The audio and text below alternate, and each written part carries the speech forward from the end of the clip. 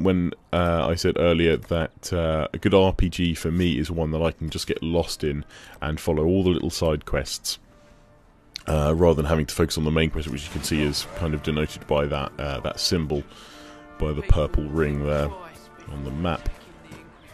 So going around looting the bodies, just getting bits. I've got a letter, and that'll find uh, new little sign.